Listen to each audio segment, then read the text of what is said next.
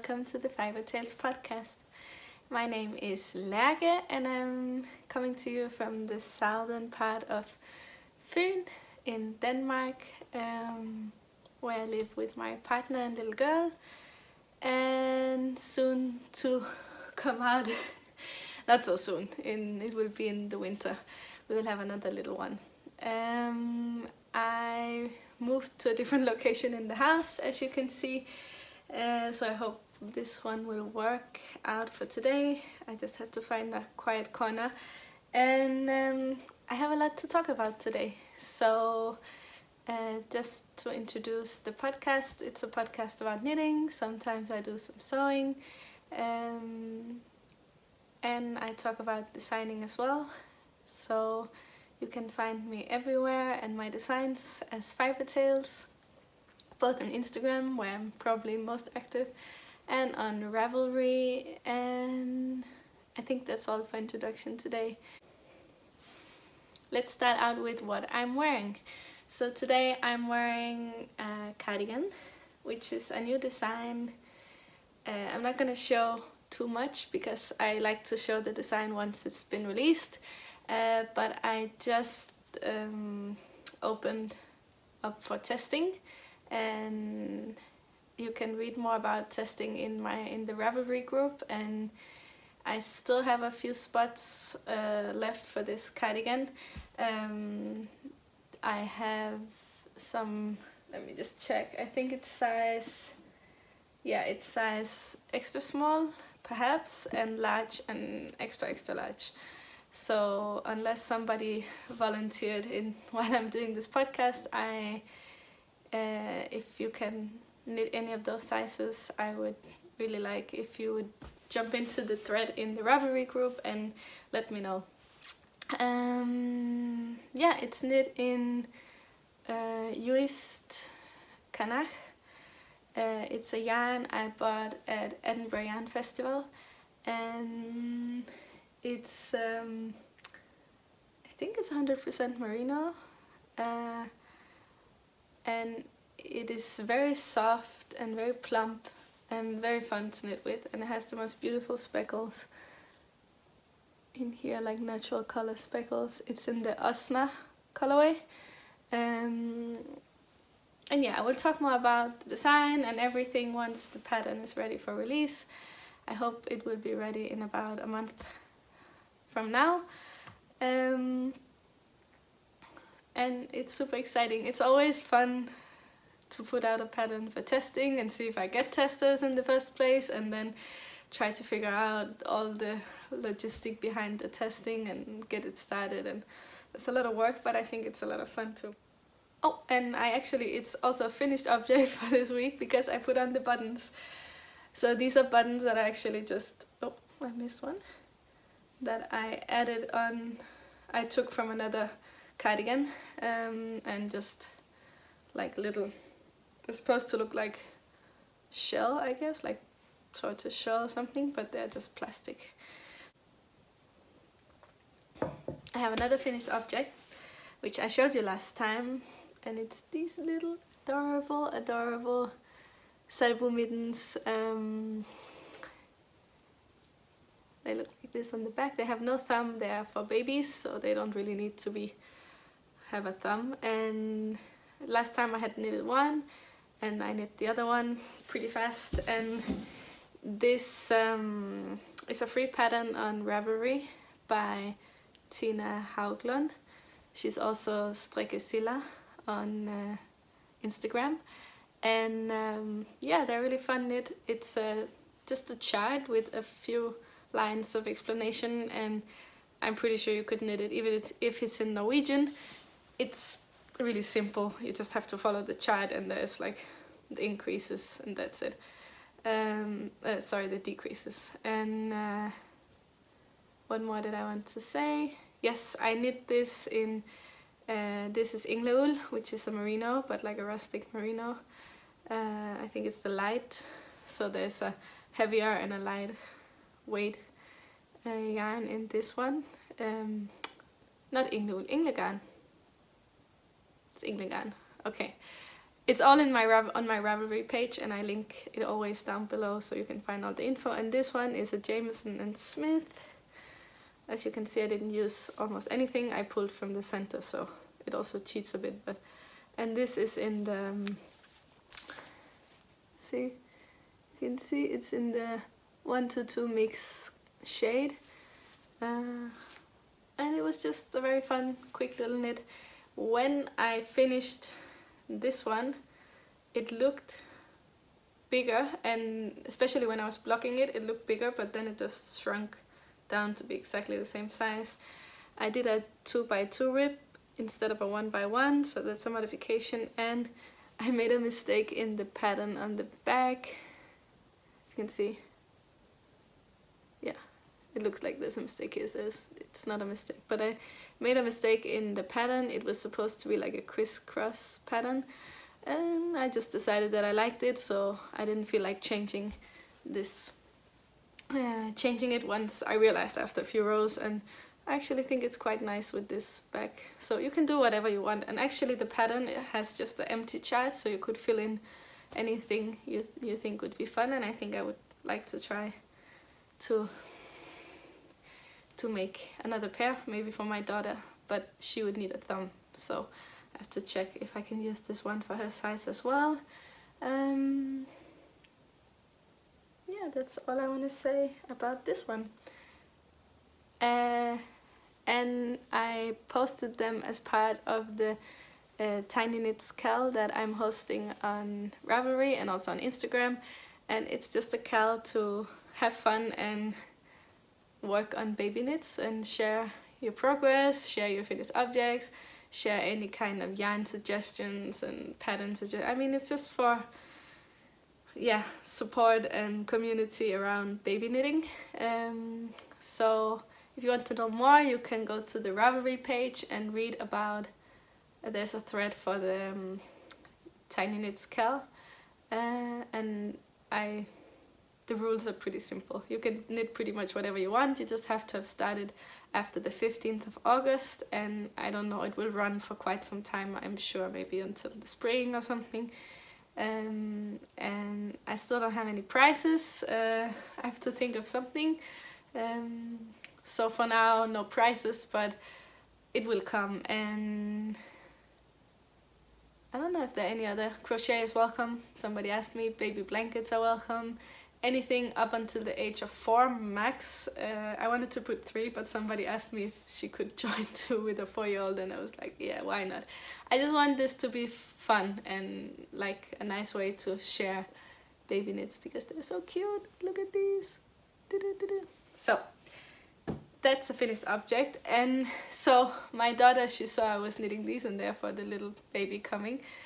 And she was saying you need some for me are you gonna knit some for, some for me and I would like to knit some for her but I just didn't feel like casting on another pair straight away I don't know so instead I cast on a pair of socks for her because she will need some for the daycare I'm pretty sure and I cast on oh, all the threads uh, just the 44 stitch count on a 2.25 millimeter ChiaoGoo. No, they're not. Yeah, they're ChiaoGoo. Yep.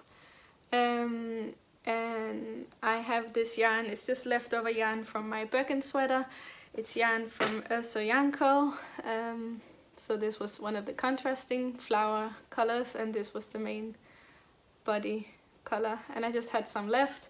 So I thought, why not use some to knit her little pair of socks and I actually first thought to do the whole body white or the, the, the lighter color. But then I realized that when they will be, look so dirty because in the daycare it's sometimes people wear shoes in there and it's not that not a daycare it's a kindergarten now. She's in the kindergarten.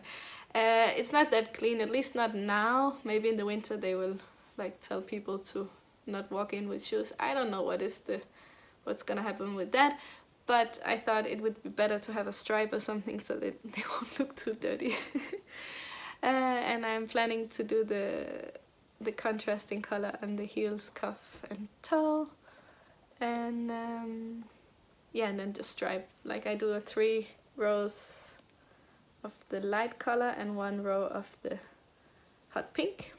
So that's the plan. Um, I really like the yarn, I talked about it a lot. Uh, this is just a sock yarn superwash. Uh, I mean, I really like the colors. The yarn for me is, it's good for socks, I guess. Uh, but and it's, I know that superwash yarn is used by dyers because it really takes the dye really well. Um, and in a different way, you cannot dye the same colors on a non-superwash yarn, uh, or you have to use different techniques and so on. But um, yeah, I think it's fine for socks, so I'm gonna use it up for socks. So that's a little work in progress uh, and I will try to work on these when I feel like working on something mindless because I'm doing a lot of uh, patterns right now, designing. Mm. And sometimes you really just need something mindless to work on. So, other than that, I've been working on two new designs and one of them is looking like this. Hmm, isn't it pretty? I have ripped this bag so many times and this is knit in Plötulopi, uh, which is an Icelandic yarn. It's uh, uh, unspun, let me just take a yarn that you get in plates. It smells really nice and sheepy uh, and the yarn is as you can see just uh, unspun so if I pull it it will break. Uh, I don't find I don't have any problems knitting with it um, when it comes to breaking and so on.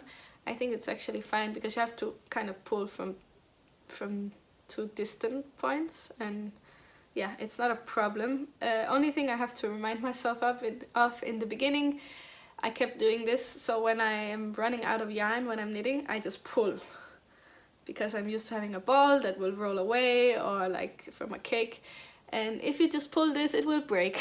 So I I stopped doing that so you kind of have to like unwind it as you go um, really carefully. But if you do that it for me it doesn't break. And if it starts to break it's really easy to to split splice it. Or split split splice it or split splice I don't remember you. Just take a bit of spit or water and just roll the two pieces of yarn and they will kind of go back together. It's really easy with this type of yarn. So where I had some, uh, I had problems with the, um, with the design. I mean, I was I'm a bit lazy with this one, so I didn't plan too much. I just knit and I realized that things are not working out the way I want them to. So I had to rip back. I ripped back once and when you rip back um, you can rip back but the yarn just gets a little more fragile I feel. And then I tried to knit with it again and oh I had to there were a lot of thin spots in the yarn and I I, I started regretting it more and more as I was going. But you can do that. It's not impossible but I just didn't feel like it was working out the way I, I felt not so happy about the result. I, there were some thin spots and of course you can go back in and um, and du duplicate stitch those if you're really nervous. I did that a few places but then I got to the end of what I thought I was doing and I realized that it's not working. I did I made a mistake in the calculation so the pattern is not repeating the way I want to so I'm not gonna rip this bag one more time. I'm simply gonna cut the the yarn um, after the the the neck, the collar, and just take new yarn because I think I've what ripping out once is okay, but ripping out twice and reusing the yarn, it's just it's too fragile. So uh, I have to start over with this one, which means it's a lot of knitting for nothing. And that's I guess that's how designing is. I have heard that from other designers. Just take a deep breath. And and I know if I do a little bit more if I'm a little bit more careful about calculating and planning first then I should have less unraveling. But when I have an idea I really want to start it straight away. I really want to see it form. I mean I, I swatched at least I'm swatching but I really I get so eager and knitting is quite slow as we all know. So you kind of have to you just want to go. You just want to see if it works out if the idea is gonna work because that's how it is with designing. Sometimes the ideas work sometimes they don't and that's just the way it is with designing. So that one I'm just taking a breath. That's why I started the socks. I'm just gonna relax a little bit and rip that part back or cut it off and pick up from under the neckline and then start working again. I figured out what's wrong. I hope the third time will work out much better and I will be happy with it. And actually, while I was working on this uh, Plotolopia, I was watching a podcast and I don't remember the name of the podcast, something hip hip Baba something, it's a long name, but she's called Linda and she's uh, Icelandic and she's doing an Icelandic cal right now. So I thought it's uh, it could be fun to to use this uh, this project in the cal it's a design so I won't be able to post anything right now. So I don't know if I will join but if you're working on Icelandic yarn I would suggest you join the Icelandic knit everything Icelandic something like that cal uh, I will put the info down below another project I've been working on that has been taking a lot of my time and is right now causing me a bit of a headache is this shawl I showed you before. It's a design I'm working on. It's knit in the most wonderful yarn which unfortunately has been discontinued. It's a blacker yarn. It's called Samite. Um, the ball band is here. It's a, a wool and silk blend and it's woolen spun which is quite interesting. And it's like it just has a lot of texture. Um, like the silk doesn't take the um, the dye the same way as the wool so there's a little bit of like a tweedy effect. And I really like this yarn and I'm working on this one and I had two skeins and right now I'm working on an applied border which I don't have and I can just see I don't have enough. Yarn I have this much left. And so I don't know what exactly I'm gonna do because I looked on Ravelry if I could find anyone selling this yarn um, in this colorway which is called uh, Autumn Bowers Bowers Bowers it's here. Um, yeah so I looked if I could find anyone selling this yarn from the stash no one has it up for sale I could perhaps write people and ask them, but I don't know. I feel like that's also a bit intrusive. Uh, and it's not for sale anymore. They're not making it anymore. So I, I will have to do a little bit of searching and see if I can find it anywhere. And of course it would have to be the same um, lot and it's the lot number 610 I think has the something down here. It's like a lot of writing. R slash I Samite lace out bower and then 610. So um, I got a little lost there. Yeah, so what I was saying is just I have this applied border that's quite thick and I did it on all on one side and I just kept going because I could see that the yarn was probably not gonna be enough but I thought okay I will at least try to block it and see if this this border even works because if it doesn't look nice then I'm not gonna go through a lot of trouble. So that's I need I'm just missing a little bit on the one side and I will try to block it and see if yeah if I if if it's worth it. And then so I have two options. I can either just finish with what I have left and I could still publish the pattern because one side is done and if it looks nice and I do a little bit of the other side I can see if the, the pattern will work but then I will be left with a shawl that has no that's not finished and I really want to wear it. And also for pictures it would be a little bit disastrous to try to have pictures of the sample that is not done. Um, so that's one thing. And then the other problem yeah, so that's one option. And the other option would be to rip it all back and to knit a more narrow um, applied border. But then I would have to change the, the design and do something different. which I think would be nice as well. I don't know. I'm I'm so yeah. I'm a little stuck with this one, um, mainly because I don't have enough yarn. If I had enough yarn, I would just keep going with the first the original idea. So that I've been knitting a lot on this, and it's just ah, so annoying. so a lot of design setbacks, even though I'm enjoying working with these two yarns. They're really beautiful yarns. Um, and it's a pity that Blacker Yarns decided to discontinue the Samite. I guess maybe it was not selling well enough or they want to have make space for other yarns. I don't know. But it's a really beautiful yarn. So that was it for my works in progress and finished objects. I have a lot of ideas and things I want to cast on, but I'm just gonna try to finish these two designs and focus on them because I know when I get into some trouble, I it's really easy that they just get I put them on ice and then they're not really going anywhere and I really wanted to have them out for this fall or at least for the winter so I'm gonna keep on going with those.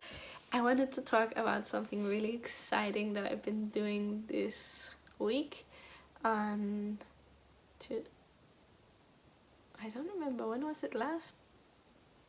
Sometimes last week I went on a little trip. If you follow me on Instagram you would have seen I went to visit um, a local uh, yarn mill uh, which is called Hjelholt Uldspinderi and Hjelholt is an the only there are only two mills left in Denmark doing um, spinning people's yarn.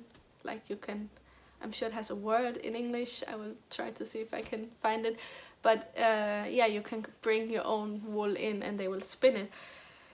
One is uh, and they do down to really small amounts uh, I think the minimum is 15 kilos and the other one is called Eriksen I think it's Eriksen. And or Henriksen? Oh god. Henriksen. I think it's Henriksen. Anyways that one you need to have bigger amounts so I think the minimum is 150 kilos for them to spin. And that's actually where Isager has the yarn spun and other Danish um, yeah uh, yarn companies have the wool spun um, but Hjelholt is uh, very local to me. It's actually the family lives in the next village to my parents and the, the mill is very nearby and they've been doing it for generations and it's really it's really nice and cozy to come there and visit. And uh, actually they do little tours so you can if you I think you have to contact them to hear when they have the a tour you can join or if you come as a group you can ask but I just asked if I could we could go in and see me and my mom and my dad all went for a little trip. And um, and it was lovely just to see the mill I have footage I will put in. Um, and uh, yeah it was absolutely amazing to see. The machines are really old they're from 1940s and uh, they were bought in the 80s but they are they're old machines so everything is wood and metal and like it's just so beautiful and that big bags of fleece everywhere and and wool all kind of wool and they were spinning actually a kind of plötulopi um, like a yarn, unspun yarn when I was there. And I didn't ask who was having that spun. It looked really beautiful. So I, kicking myself a little bit, I have to figure out who is getting, yeah, who's selling. Maybe it's a Danish company, but they also spin, he told us he has uh, wool from the Netherlands and other places that people send to him. So um, it could be it's not a Danish yarn. And they were I asked if I could film a little bit, so yeah, I have some footage I would like to show you.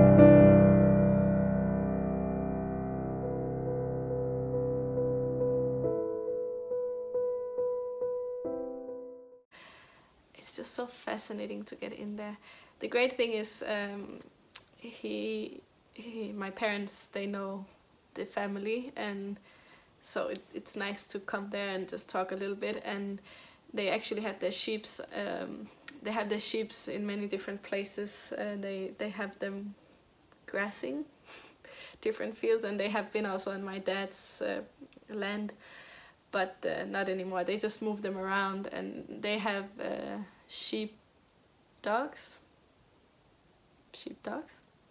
I feel like that's too easy. Anyway and they do the whole uh, they train them and when they come to gather the the flock it's really fun to watch. Um, so yeah and uh, I really like Hjelholt uh, as a a spinnery it's very simple. They are a little bit old-fashioned in some ways. Uh, for example they don't sell they don't have a web shop. They just have a website but you cannot buy from the website. So you have to find people often ask me in, in comments if uh, where you can buy the wool from Hjelholt because I talked about it in my Rødtur sweater and I talked about it other times. And you cannot buy from the website but there are on Ravelry. If you search the yarn you will always get suggestions in the um, right side in the bottom of uh, places to buy the yarn and I know there are some Danish yarn shops selling this yarn so it should be possible to find someone who some a yarn shop that will ship abroad for example. Um, they have their own yarn which is called they have different names but the pelsuld and it's generally a Gotland yarn but they also have merino. Uh, when you spin Gotland you mix in some merino generally because the Gotland is a little hard to spin so they mix in at least around 10% to to make it easier to spin. Um, and yeah they had some other yarns uh, there but the, the main yarn is the um, Dansk Pelsuld and I actually bought a little skein uh, so you can see the the label. They have it in two sizes so this is the 8 8.2 and they have a 5.52 as well which is the one I used for my Rødtur sweater uh, I just had to get this one when I was there because the color is so nice. This is a little 50 gram skein. Um, the color is very beautiful. I made a free pattern for a headband, which I think I have. Let me just get it. So last year I made um, a free pattern for this uh, uh, headband, which is just a simple twisted headband, but it's uh, in brioche and has a nice edge. And uh, it's a free pattern on Ravelry. Um, and as you can see, this is the same yarn as this one. And I held this one double. Uh, and you can see here it doesn't look fluffy and soft at all. It's soft, but it's like rustic soft. But once you start wearing it, this is what I love about the Gotland yarn is that it just get this beautiful halo and it gets so soft. So my idea was to knit another one. So I have two headbands because I use these a lot when I'm biking. Um, a hat is really, at least with my hair that's very thick, just kind of pushes heads up. Um, so I really like to wear headbands. I can put them under the, the ponytail and they just stay where they're supposed to stay. So I got this beautiful heathery pur purple mo like a purpley gray brown. I think it will make a very nice headband maybe for a present or maybe for me. But I think if I remember correctly I got yeah I got three headbands out of the 100 grams so and I still had some left. I think I could squeeze out two headbands of this skein. So uh, I will put a link to the pattern if you haven't seen it. It's uh, yeah it's a way to try one of my patterns if you feel like seeing what they're like. And also it's a way to easy way to try uh, brioche um, and it's only one color uh, so I recommend checking that out. It's called Drejø. Drejø is uh, an island down here in the southern part of Fyn oh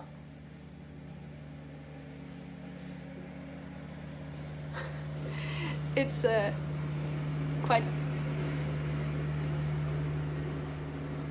it's quite funny because I live now next to the forest and someone is driving by with a I think a lawn mower hmm.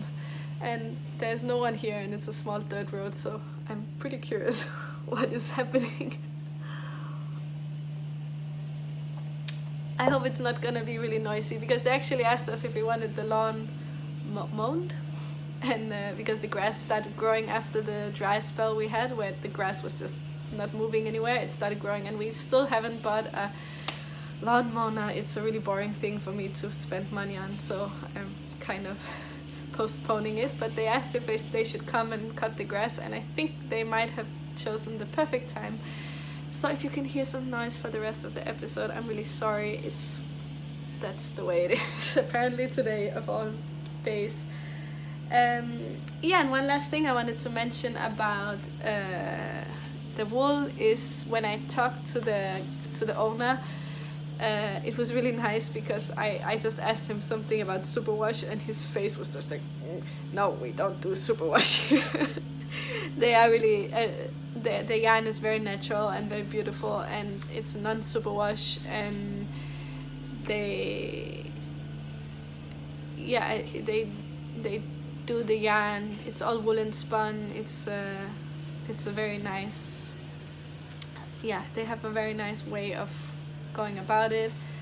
And I really I really love to go there. And if you are in the on Fyn I would really recommend to take a visit to their little they have a little shop and uh, at the mill so you can buy the yarn you will see that in the footage. I don't know if I put it before or after but you will have seen it or you will see it soon. Then I actually thought that that would be it for visits this this week because I I thought oh I have done a lot of yarny things and I'm I'm really busy with my patterns and I'm really feeling good about everything. But then I was I went to Svendborg which is the town the most southern town of Fyn or one of the most southern and that's where I went to high school and we're living pretty close nearby now it's about 10 minutes with the train so I went there uh, I had a midwife appointment and while I was there I thought to visit this shop that I've been I've been stalking on Instagram for quite some time because I think it's so cool. Um, it's uh, it's called the Handmaker Line, uh, and it's a Danish girl who is um, she made a little shop uh, on the harbor in some of the old uh, industrial buildings, and it's uh, she's she's a machine knitting. Um, garments and sh shawls and hats and stuff. Um, she knits.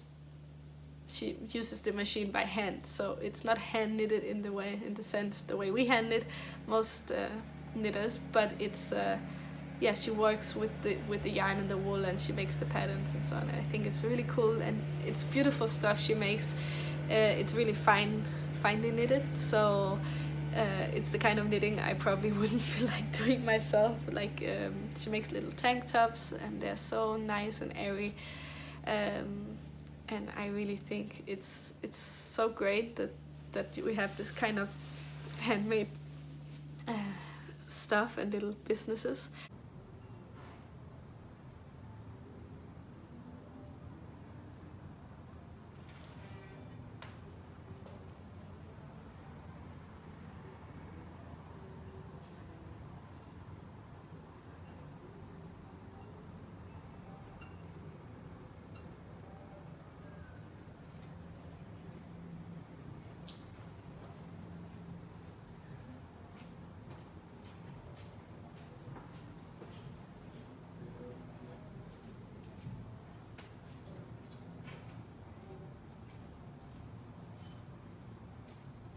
So I went to to pay her a little visit and the shop is absolutely beautiful. She also sells little plants in the window and she has it set up really nicely and it was just so nice to meet her. So Lina, if you're watching, hi.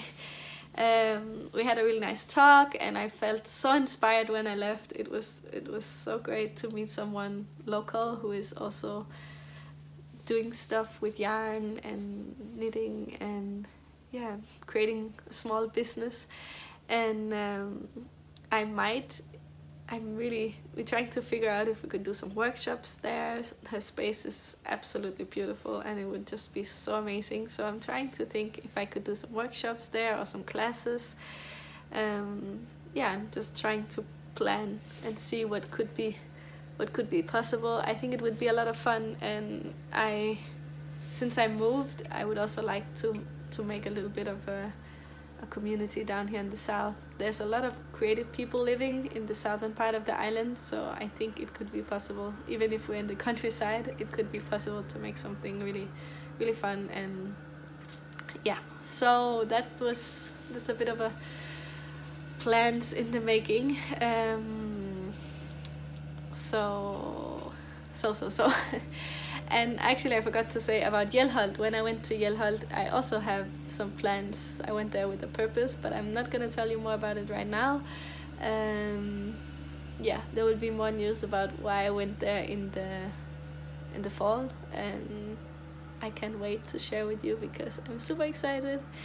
Um, yes, but coming back to the handmaker line, uh, I will of course as well show you some some footage, but I just felt so inspired and I'm really I'm really thinking if I could do something similar or like open a little because the shop works a bit like a pop-up shop so it's only a few days a week and maybe I could try to to make something down there. I have so many ideas it's just about time and figuring out um, yeah what will work um, so funny because today I really felt like I have so much to talk about. But when I have so much to talk about I talk fast and and I'm really eager to tell everything. So yeah finally it's probably not gonna be too long. I really want to end it here um, and hopefully I will be back soon and can show you more and yeah, I think I will be back before the release of this one and maybe I can show you some of the other designs I'm working on. I just want them to be more or less done when I start showing them off. Um, and that's it. I hope it was really lovely to talk to you all. I hope you had a nice time and I will see you soon. Bye.